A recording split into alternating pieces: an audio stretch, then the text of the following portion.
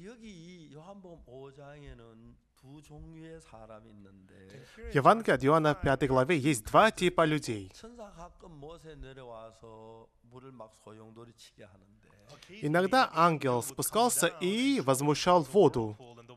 그게 제일 먼저 들어가는 어떤 병이 그 낫게 된다는 겁니다. И кто первый входил в нее по возмущению воды, тот выздоравливал, какой бы ни был одержим болезнью. 이 예수님이 나타나시는 이 성경에 보면은 두 가지 종류의 사람이 있는데 Если мы посмотрим эту историю, есть два типа людей, которые встретились с Иисусом. 물을 소용돌이 치게 할 때 들어갈 수 있는 사람이 있고 들어갈 수 없는 사람이 있는 거예요. Есть люди, которые могут войти при возмущении воды, есть те, которые не могут войти в воду. 그래서 굉장히 많은 병자들은 자기 들어갈 수 있기 때문에 들어가는 위치에 있었습니다. Многие больные могли сами войти в воду, поэтому они находились в позиции, которая может войти.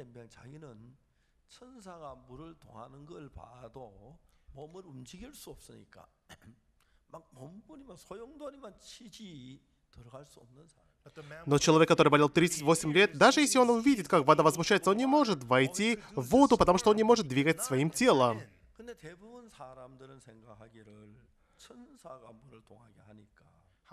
Многие люди считают, что поскольку здесь написано «Ангел Господень»,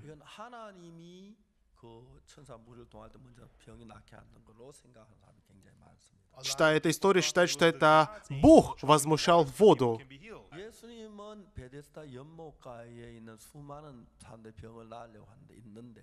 Однако Иисус хотел исцелить болезни многих больных, которые собрались у купания Вифезда. Но тот, который может действительно получить исцеление, был один человек. Потому что все остальные были спиной к Иисусу.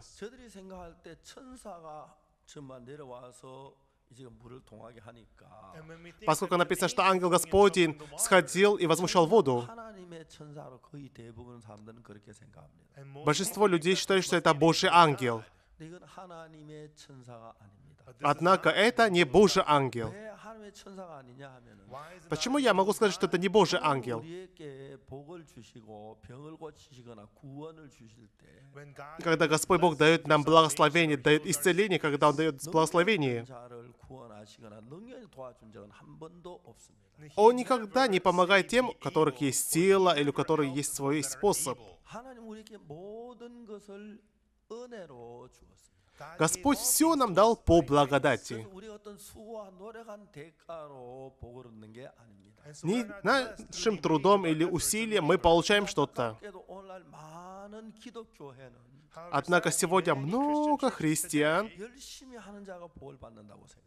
думают, что получат благословение те, которые стараются. Считают, что получат благословение те, которые трудятся. Думают, что те, которые труд... усердно работают, они получат благословение. Но если мы посмотрим Библию, никогда Иисус не помогал таким людям. Даже если мы посмотрим разные места Библии, так увидим. Один человек шел в Ерихон и встретился с разбойниками. Разбойники избили его, сняли с него одежду и оставили едва живым. И явился добрый самарянин. До него Священник и левит прошли мимо. Добрый самарянин символизирует Иисуса Христа. Когда я посмотрел историю, как Иисус рассказал эту историю, там было очень много процессов.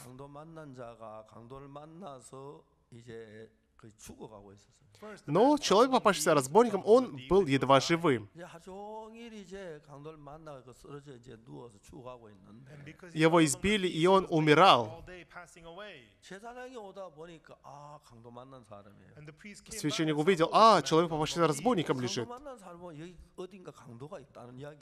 Это значит, что рядом где-то есть разбойники. Если я попадусь им, со мной они поступят так же. И он сразу ушел. Это касалось, касалось Левита. Но третий, это был самарянин, которого все презирали.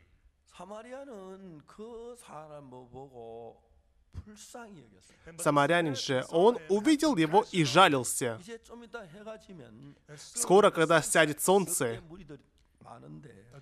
придут стая волков. Он умирает, у него нет силы, чтобы победить волков.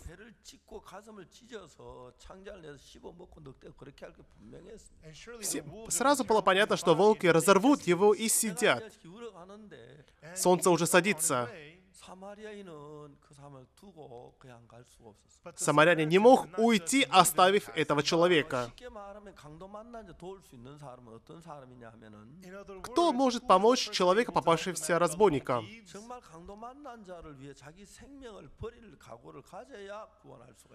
Только тот, который готов отдать свою жизнь за человека, попавшегося разбойника, может спасти его. И Иисус сказал, «Я добрый пастырь». Добрый пастор отдает свою жизнь ради своих овец. Самарянин символизирует Иисуса Христа.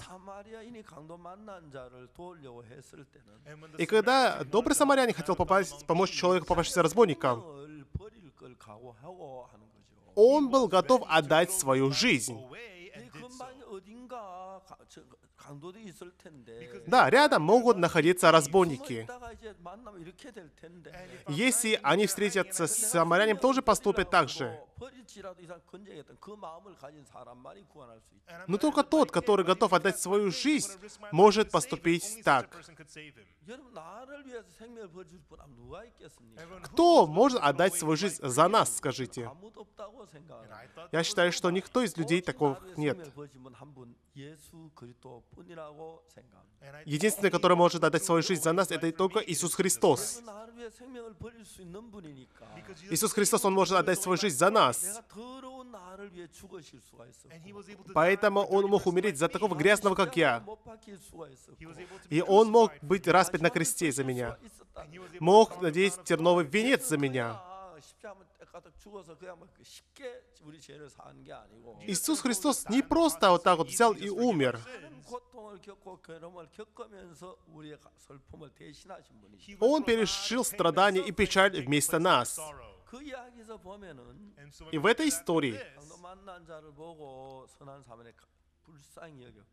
Добрый самарянин увидел человека, попавшегося разбойником, и жалился. Первый он жалился, подошел, возливал масло и вино, возливал вино, перевязал ему раны, посадив на своего осла, привез его в гостиницу и позаботился. На другой день он вытащил два динария и дал хозяину гостиницы и попросил позаботиться. Если что издержишь, я вернусь и дам. Подобные истории — это очень интересные истории. Каждое дело, которое там описано, Ничего человек, попавшийся разбойником, не сделал.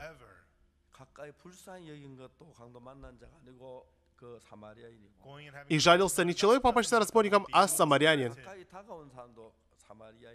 И подошел также самарянин. И тот, который возливал масло. И тот, который возливал вино. И тот, который перевязал раны. И тот, который посадил на свое животное. Тот, который перевез в гостиницу, который позаботился.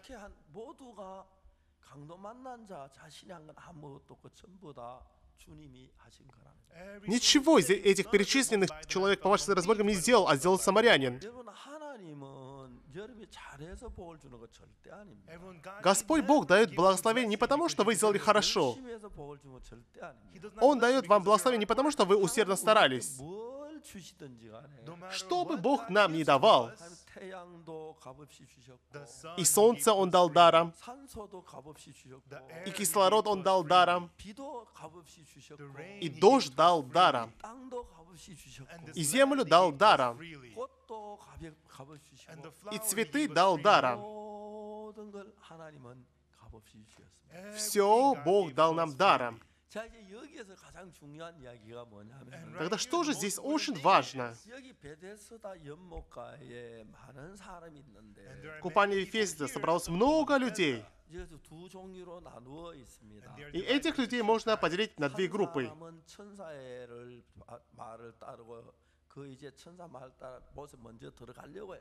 Одна группа — это те, которые сами хотят войти в купальню, в воду возвышении воды. Вторая группа людей — это те, которые ничего сами не могут делать. Это очень важный момент. Люди хотят получить прощение грехов своим способом. Но чтобы получить прощение грехов, нам ничего не нужно делать. Господь Бог дал свою милость каждому из нас.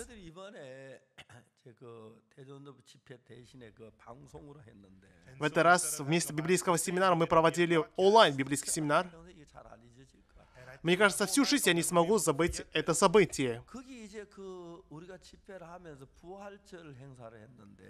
Мы проводили пасхальное собрание до этого. Два миллиона человек слушали мои проповеди и участвовали. Я не поверил их словам. Я сказал, как это два миллиона могут прийти? Сестра Ичами, которая переводила на испанский язык, вышла свидетельствовать. И что же она сказала? Она переводила на испанский язык.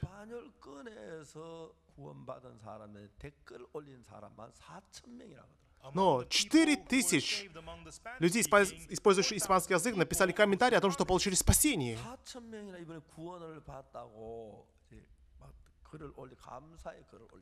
Четыре тысячи человек написали комментарий, что они получили спасение через этот семинар. Скажите, когда-нибудь вы писали комментарий о том, что вы получили спасение? Я думаю, практически не оставляют комментарий. Сколько человек должно услышать слово, чтобы написать 4000 комментариев? Если написали 4000 человек, чтобы получить спасение, сколько надо, чтобы люди получили спасение, и чтобы из них 4000 оставили комментарии? Если, например, 10 тысяч получило спасение, 4000 не оставят комментарии. Я думаю, что где-то 100 тысяч человек должно уверовать, чтобы 4 тысячи из них написали комментарии. Мы переводили проповеди на пять языках. Корейский, китайский, английский, французский и испанский. Но если учитывать, что из людей, говорящих на испанском языке, получили 4000 человек спасения, Тогда, что касается людей, которые слушают по-корейски, или те, которые слушают слово на английском, или на французском, или китайском, я не могу посчитать, сколько было изменений.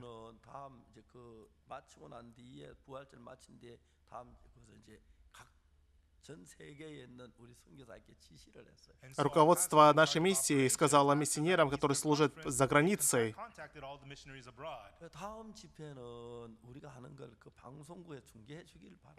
и сказали, что мы хотим, чтобы семинар транслировался через средства массовой информации.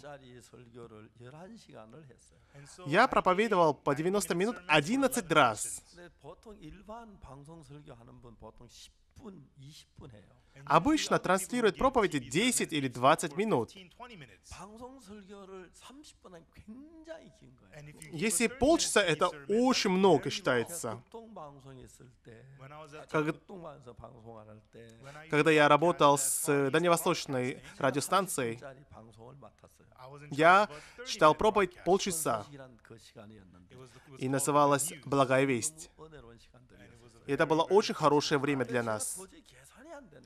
Но я не мог посчитать. Я не знал, возможно или нет, но миссионер, который за границей, они обратились к э, телерадиокомпаниям и предложили им. У нас пастор Супак читает такие проповеди. Позвольте транслировать их за границей. Но ну, скажите, ведь у каждой программы, телерадиокомпании есть своя программа. Кто согласится 11 раз про транслировать проповеди по 90 минут? Я не мог в это поверить.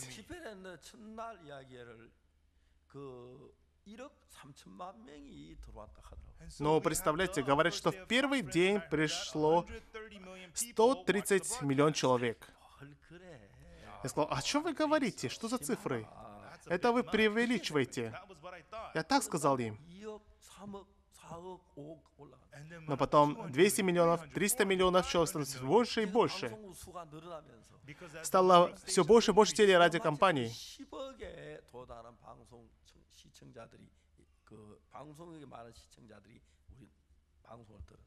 И 1 миллиард потенциальных слушателей появилось у нас.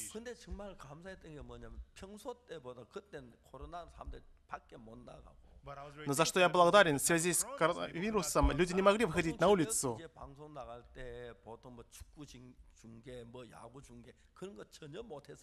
И потом, семинар был тогда, когда еще были запрещены проведение спортивных игр, там, футбола или баскетбола. Поэтому, говорят, слушателей было больше, чем обычное время. До сих пор мне не верится. Недавно я брал, а у меня брали интервью из Бразилии. Полчаса я давал им интервью.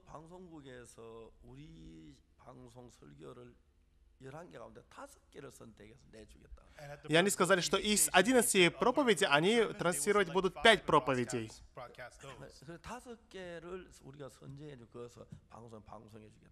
Они сказали, что если мы, так скажем, им выберем 5 проповедей, они будут транслировать 5 проповедей. И, получается, полчаса я давал интервью им было очень хорошо. А, я всегда часто даю интервью, но мне было очень приятно. Ведущий сказал, что если вы приедете в Бразилию, обязательно посетите нас. И она попросила, чтобы я обязательно посетил их. И было пять тысяч комментариев Знаете, я думаю, раньше я жил во тьме,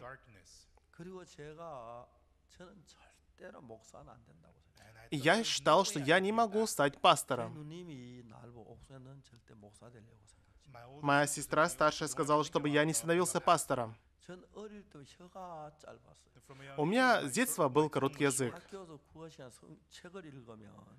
Когда во время литературы в школе я читаю книгу вслух, все мои друзья смеялись надо мной.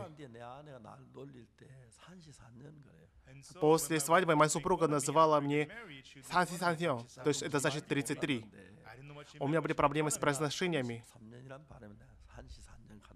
У меня не получалось говорить ясно 33. Но чтобы стать служителем, я много тренировался. Я практиковался. Я говорил, «А Бог сказал так. Я учился кричать. Но смог так рассказывать, чтобы люди меня понимали. Раньше люди не понимали хорошо меня, но я был благодарен, когда люди стали меня понимать. Иисус Христос пришел м-м. М-м. И среди многих людей, которые находились в этой купальне, Иисус подошел только к человеку, который болел 38 лет. Другие люди могли сами войти в купальню, когда возмущается вода. Но человек, который болел 38 лет, ничего не мог сделать сам. Поскольку ангел Господень возмущал воду, часто люди путают, думая, что это ангел Господень, Божий. Но это не Божий ангел. Почему? Если бы это был ангел Бога, тогда ни в коем случае он бы не исцелял тех, которые в первой войдут в воду. Здесь написано, что получают благословение в зависимости от твоих умений. Да, во время Олимпийских игр это так.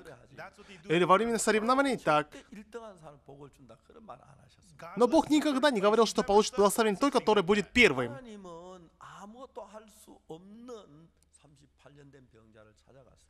Бог подошел к человеку, который ничего не мог делать. То есть человек, который болел 38 лет. Это касается также и нашей духовной жизни. Если вы знаете Евангелие на 5 главу, моим усилием, первый я войду в купальню, я должен первый войти и получить исцеление от болезни. Я могу точно сказать, что Бог так никогда не делает. Это не был ангел Бога. Это был падший ангел. Зная, что Иисус Христос придет к купанию Вифезда, чтобы взор людей не был направлен к Иисусу, нельзя, чтобы люди смотрели в сторону Иисуса. Поэтому этот ангел сделал, чтобы все смотрели купальню и люди направили свои спины к сторону Иисуса.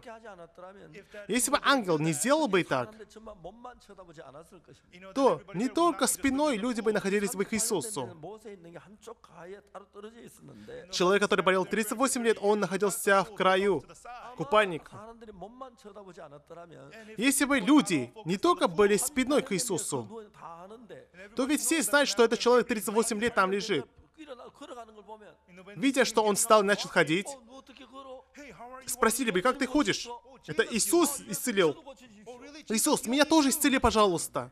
Вот как должно было быть. Но этот ангел сделал, что взор людей был направлен в сторону купальника, но с Иисус находились спиной. Человек взял постель, радуется, веселится и ходит уже. Но люди говорят, почему ты ходишь... Ты ходишь в субботу, Иисус, Он нарушает субботу, это грех.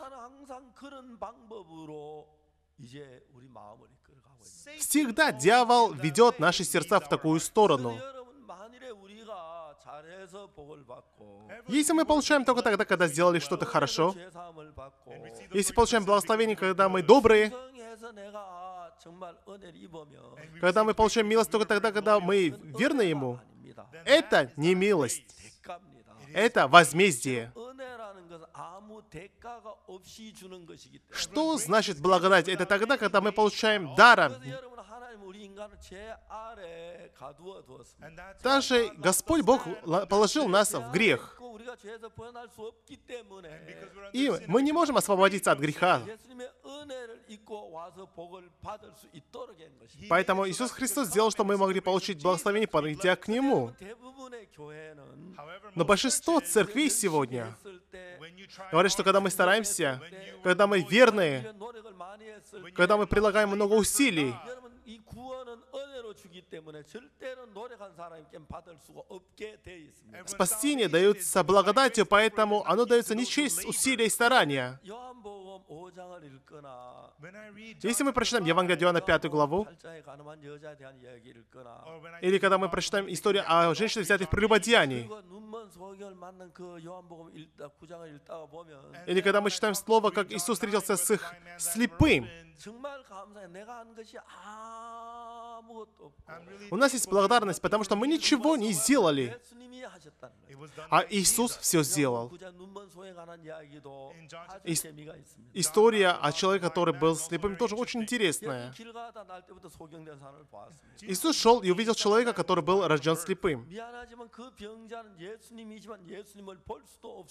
Этот человек, хотя Иисус стоит перед ним, он не мог видеть Иисуса. Он ничего не мог сделать. Иисус же увидел этого больного. Ученики спросили, а кто, чей грех, что он родился слепым? слепым. Наверное, это его грех. Не, но в утробе матери какой грех он может совершить? Это, наверное, грех родителей. Но если родители согрешили, они должны стать слепыми. Почему их сын слепой? И поэтому ученики спросили у Иисуса, «Учитель, этот человек рожден слепым. Чей это грех? Его грех или же грех родителей?» Что же сказал Иисус? Ни он, ни его родители согрешили, а для того, чтобы явились дела Божии. Когда я читаю подобную историю, Другое я ничего не могу делать. Но я тот, который подхожу, чтобы Бог действовал. Я много согрешил, я не могу делать доброе. Я не могу ничего дать Богу. И ничего я не мог сделать Богу. Однако Господь Бог действует у такого человека, как я. Я встречал очень много выдающихся людей в жизни. Умных, хорошие, искренние, добрые. Но Бог не желал таких людей. Те, которые ничего не имеют.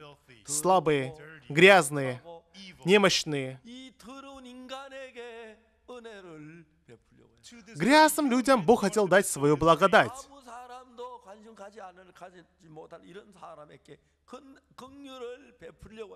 Тем, которые никому, никто не выделяет интереса, Бог хотел дать свою милость. Час за часом я очень благодарен. Я был благодарен после библейского семинара.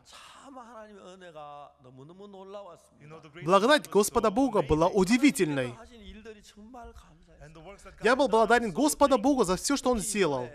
이번에 그 방송국 측에서 요한일서 1장 9절하고 Особенно во время интервью меня спросили через первую книгу Иоанна. Спросили о праведности. 1 Иоанна, 1 глава, 9 стих говорит, 죄를 자백하면 저는 미쁘시고 그렇다 우리 죄를 사하시며 모든 불에서 우리 깨끗게 하실 것이요. если исповедуем и- Ему грехи наши, то Он, будучи верен и пра- праведен, простит наши грехи. 만일 우리가 우리 죄를 자백하면 저는 미쁘시고 의로사 우리 죄를 사하시며 모든 불에 우리 깨끗게 하실 것이요. Если исповедуем грехи наши, то Он, будучи верен и праведен, простит нам грехи наши и очистит нас от всякой 이 неправды. 이야기를 자세히 읽어보면 Если мы внимательно прочитаем этот 우리가 стих, 죄를 자백하면 주님이 죄를 사하시고 고쳐 주시는 것처럼 이야기가 돼 있습니다. то кажется, что если мы исповедуем грехи, Бог простит наш грех. Это правда. Но когда еще глубже мы проникнем в Библию, немножко меняется. А вот как меняется? Левит 4 глава 27 стих. Здесь говорится о жертве за грех. Жертва за грех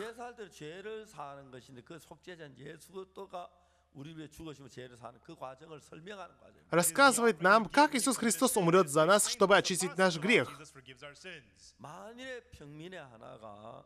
Если же кто из народа земли согрешит по ошибке и сделать что-нибудь против заповеди Господних, чего не начало делать, когда узнан будет им грех, что же нам говорит Библия? Есть процесс получения прощения грехов. Не всякий получает прощение грехов. Во-первых, надо согрешить. А во-вторых, ты должен узнать, что ты согрешил, тогда ты можешь получить прощение грехов. Прощение за грех. Человек, который не грешил, он не будет приносить жертву за грех. Человек, который согрешил, но не, не узнал о своем грехе, не будет приносить эту жертву. Во-первых, надо согрешить.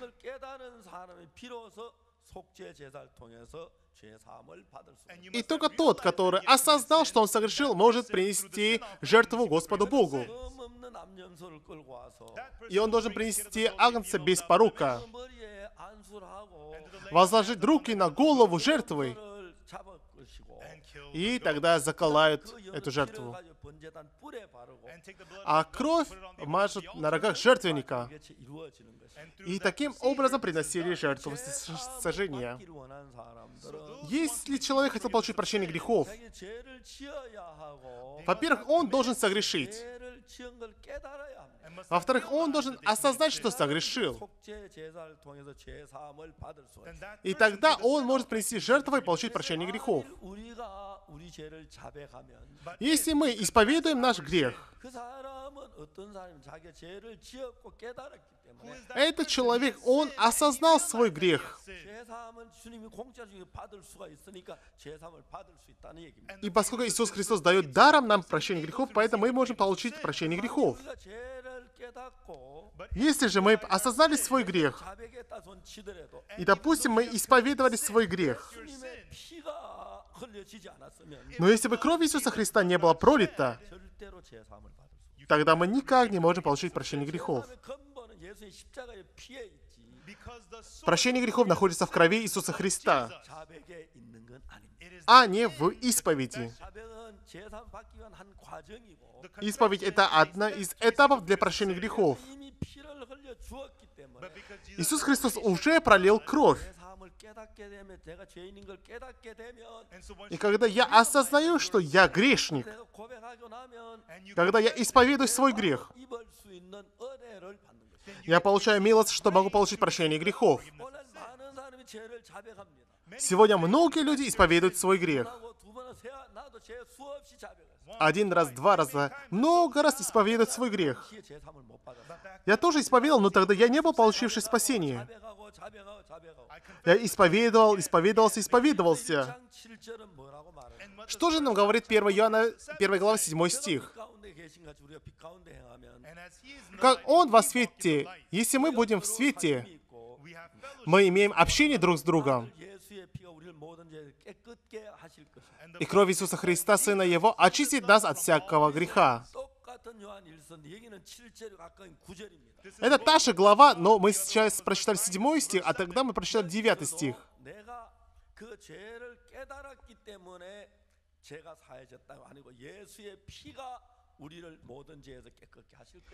Здесь тоже написано, что никогда я понял, что я согрешил, а кровь Иисуса Христа очищает нас от всякого греха. Иисус Христос пролил кровь за наш грех уже. Поэтому мы осознаем наш грех, признаем, что мы грешники.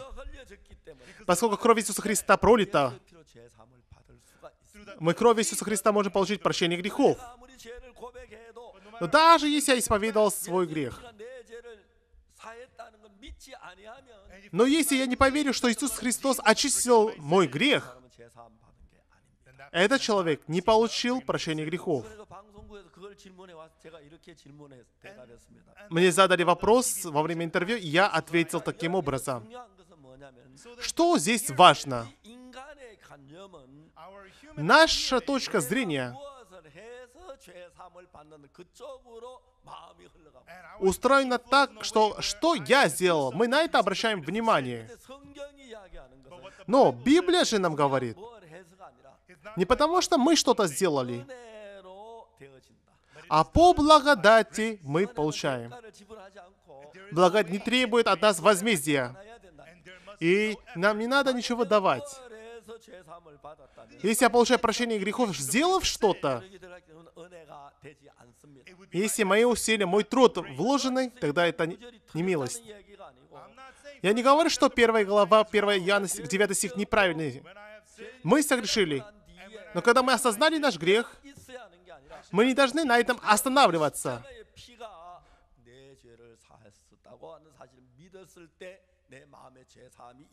Когда мы принимаем веру, что кровь Иисуса Христа чистила мой грех, тогда мы получаем спасение. Тогда почему же 1 Иоанна 1 глава 9 стих говорит так? Мы должны осознать, что мы грешники. И тот, который исповедовал свой грех, он знает, что он грешник. И посредством крови, которая была пролита за него, он может получить прощение грехов.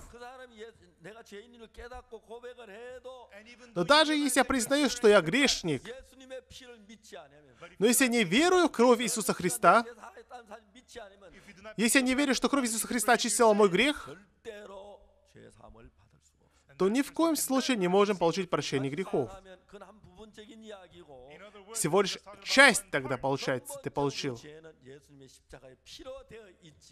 Прощение грехов есть в крови Иисуса Христа. Но не нашими делами, не нашими усилиями это можно получить. Осознать, что я грешник. Исповедать свой грех. Это дела. Это дела. Но делами мы не можем очистить наш грех. Ибо благодатью вы спасены через веру. И сие не от вас Божий дар. Не от дел, чтобы никто не хвалился. Ни в коем случае спасение мы не получаем нашими делами. Потому что я сделал добро, я был честным, потому что я о ком-то заботился. Этим мы никак не можем получить спасение. 1 Иоанна, 1 глава, 9 стих. Да, мы должны согрешить. И только тот, который осознал, что он грешник, может исповедать свой грех.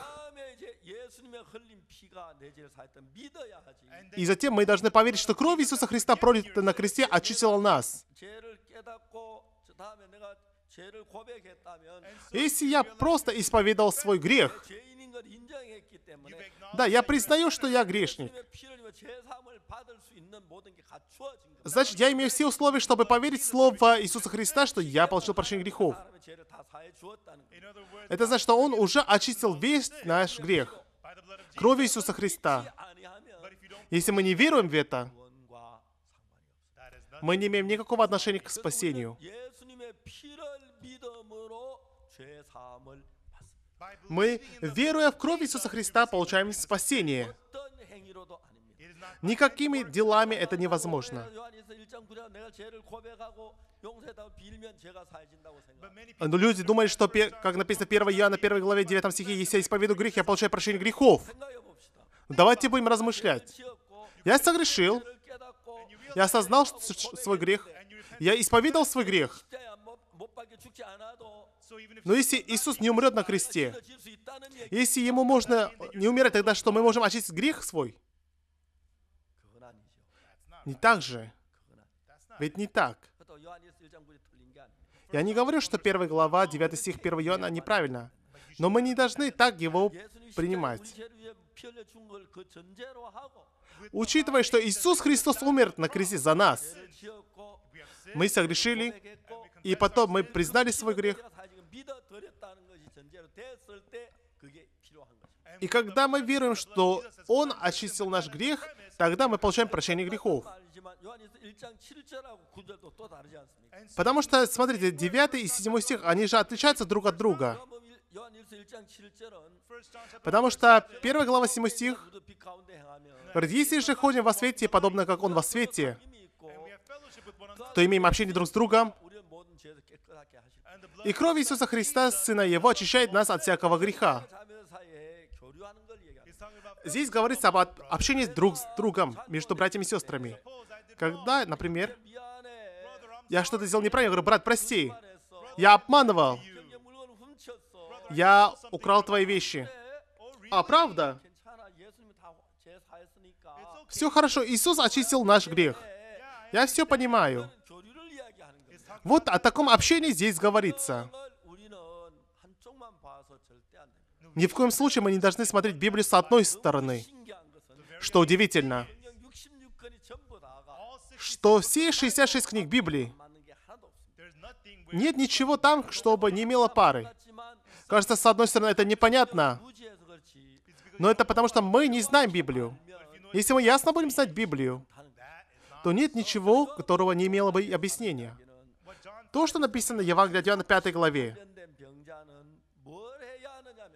Что нужно делать человеку, который болел 38 лет? Он не просто раз и исцелился от болезни. Он поверил в слово Иисуса. Иисус сказал, «Встань, возьми посеть твои и ходи». Да, человек, который болел 38 лет, знает, что он не может ходить.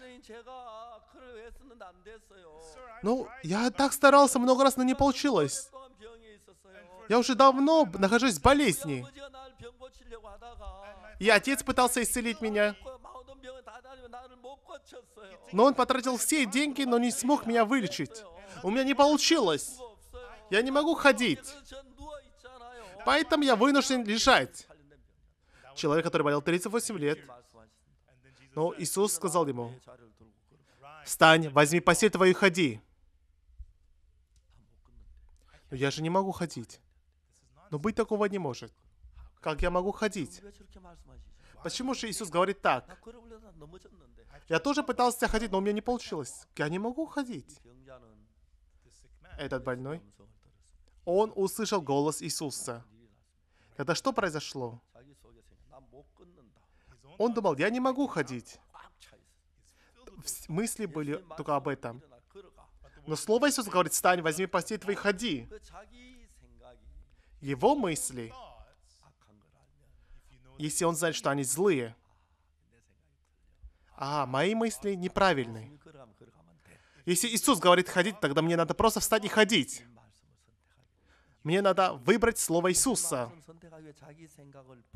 А чтобы выбрать Слово Иисуса, мне нужно оставить свои мысли. Если этот больной человек считать, что я прав. Когда между супругами есть ссора, ведь а, супружеский союз состоит из мужа и жены, а не мужа, двух мужей или двух жен. Вообще, мужчины и женщины, по сути, думают по-разному. Женщины сосредотачивают свое внимание на одном, Мужчина часто думает пошире. И поэтому мужчины не такие тщательные, как женщины. Но они могут смотреть общее.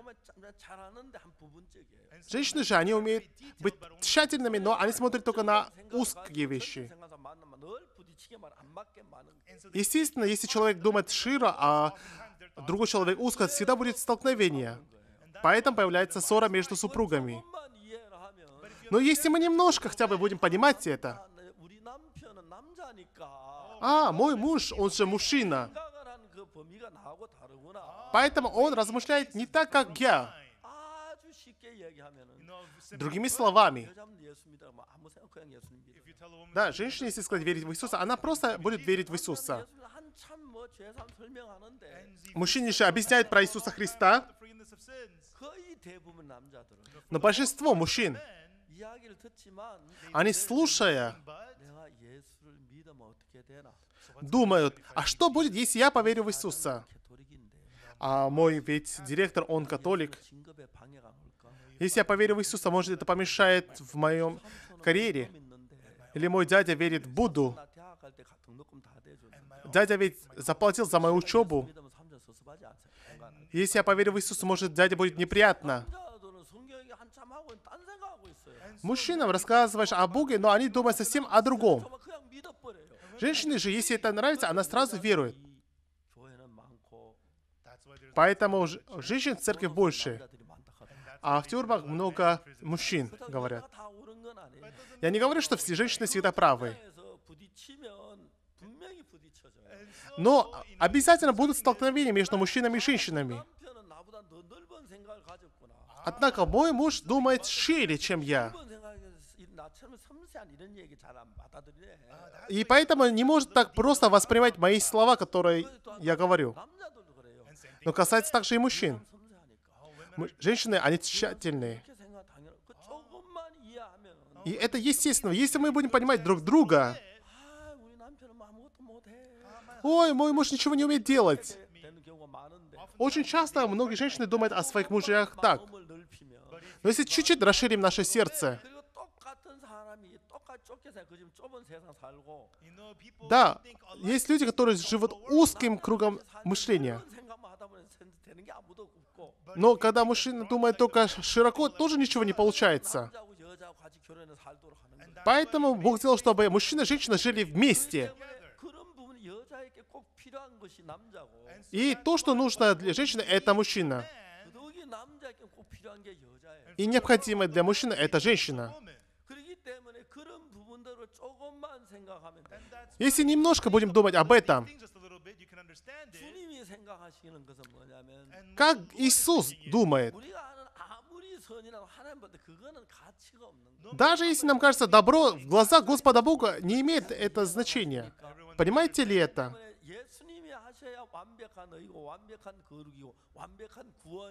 Иисус должен сделать. тогда, это будет совершенное спасение, это будет совершенная праведность. Если мы добавляем наши мысли, чем больше мы вкладываем наши мысли, у нас не будет получаться вести духовную жизнь. Истинная духовная жизнь, основа духовной жизни — это оставить мои правильные мысли — когда жена живут с мужем, даже если она думает, что это сто процентов правильно, она не хочет проигрывать мужу. Поэтому происходит столкновение.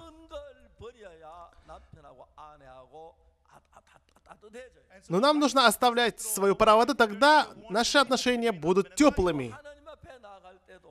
Когда мы идем к Господу Богу, то, что я сделал хорошо, то, что я считаю умным, надо оставить. Надо знать, что я грязный и никчемный человек. Тогда мы можем принимать Евангелие, даже если оно порой нам не нравится. Но способ Господа Бога порой не нравится нам.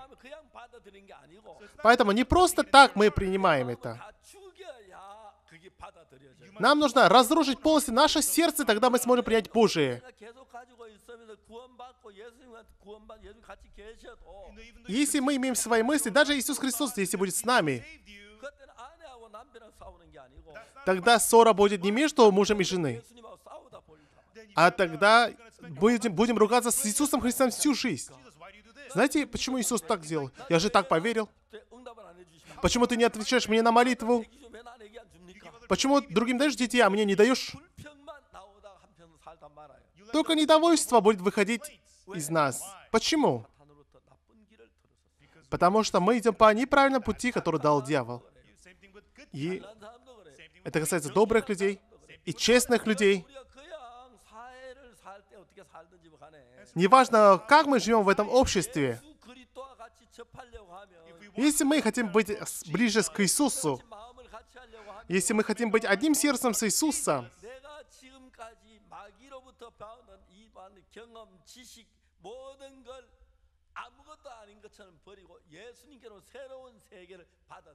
Тогда наш опыт, наши знания, которые мы получили от дьявола, мы должны считать, что это ничто, и выбросить, и принять мудрость, которую дает нам Иисус.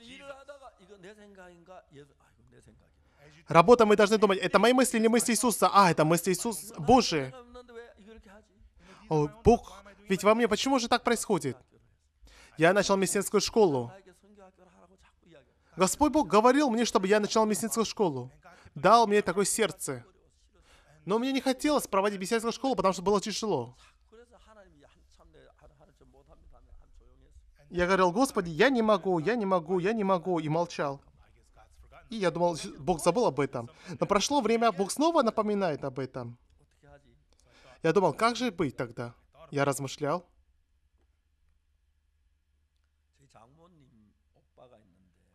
Есть старший брат у моей тещи, и у нас очень острые отношения.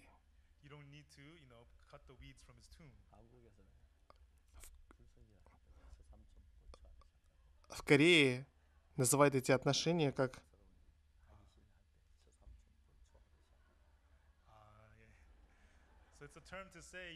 Отношение как будто скашивание травы, да?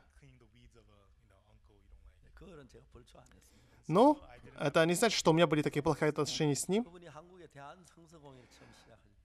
А он был основоположником библейского общества в Корее.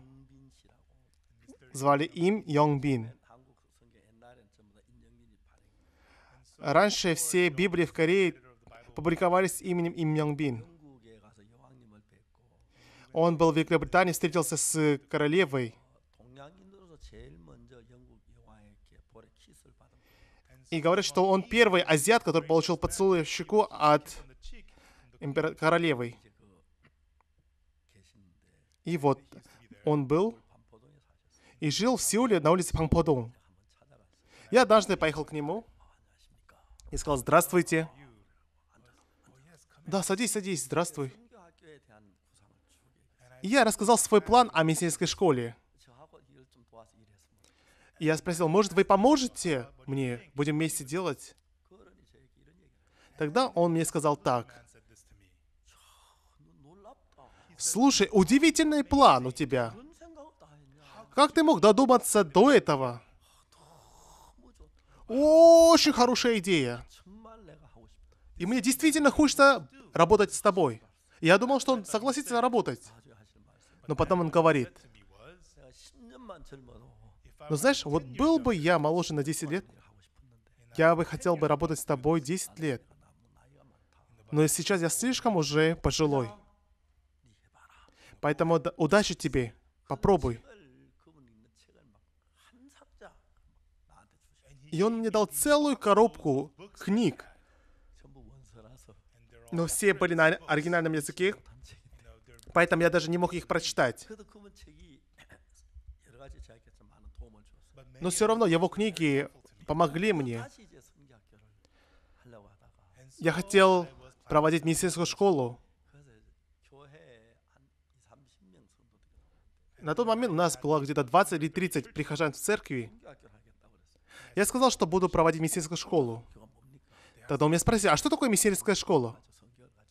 Я сказал, ну, мы собираем братьям и будем их учить. А где они будут ночевать, спросили у меня. Здесь. А где будут есть? Вот здесь. А где они будут учиться? Вот в этом зале. А чем они будут питаться? Рис. Так, пастор, вы сами же голодаете, потому что нет еды. Но так началась миссионерская школа. По всему миру сейчас работают наши служители. Мы стали лучшей миссией в мире.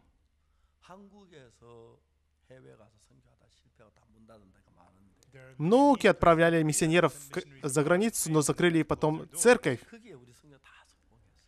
В этих же местах наши миссионеры добились успеха.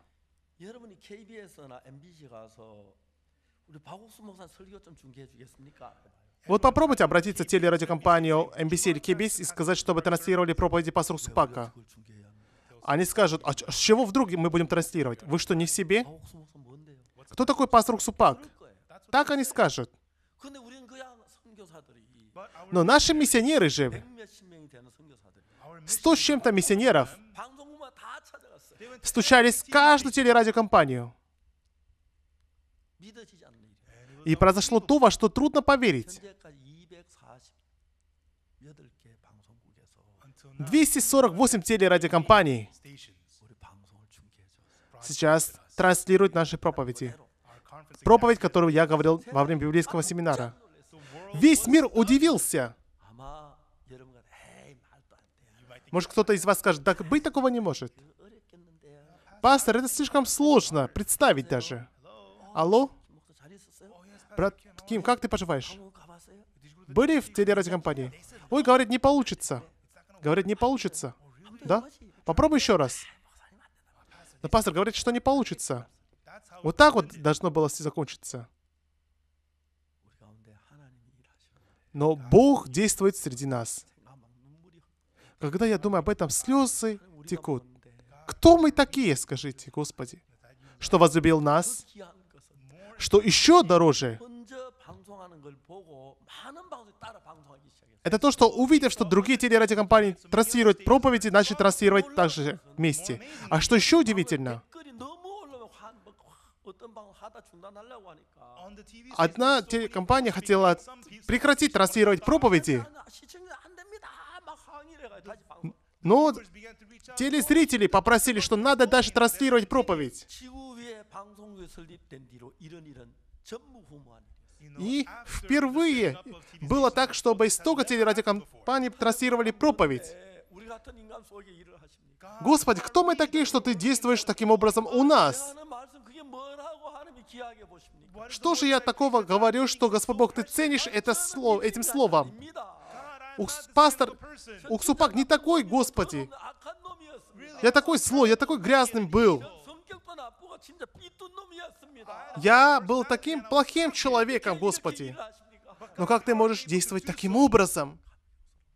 Я был очень вдохновлен.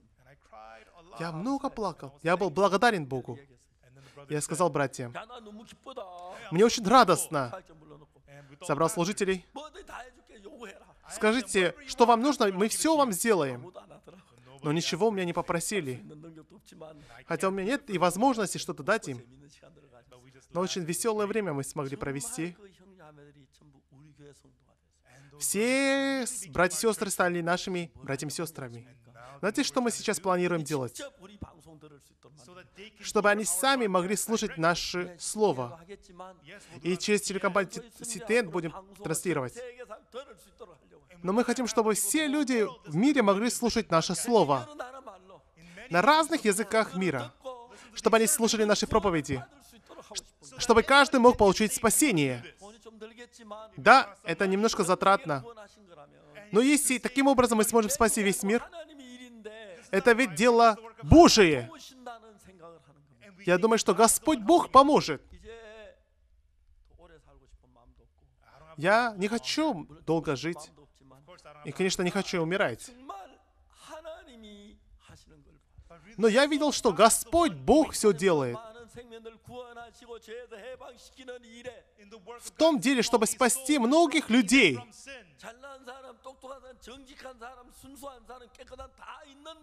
Хотя есть добрые, честные, добропорядочные и могущие люди. Многие люди направили свой взор в сторону купания Вифезда. Но к одному человеку подошел Иисус – Потому что остальные все могут делать хорошо. Они сами могут войти в купальню. Могут исцелиться от болезни. А этот человек ничего не может сделать сам. Тот, который не может ходить без Иисуса. Тот, который нуждается в Иисусе. Дорогие братья и сестры, вы нуждаетесь ли в Иисусе? Вы те, которые без Иисуса ничего не могут делать? Я был таким, который без Иисуса ничего не мог делать.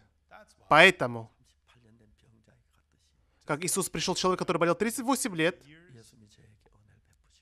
Иисус помиловал меня и дал такое славное дело. У меня ничего нет хорошего. Я был злым, грязным, Я был лжецом, вором. Я жил во тьме. Но любовь Иисуса подняла нас и позволила, чтобы через нас люди получали спасение. В заключение я хочу сказать вам одно. Это дело дела Божие. Давайте вместе участвовать ради Евангелия, Давайте отдадим все. Отдадим нашу жизнь. Давайте вместе заниматься этим делом. Это драгоценное дело. Я верю, что тогда вы получите благословение. Спасибо.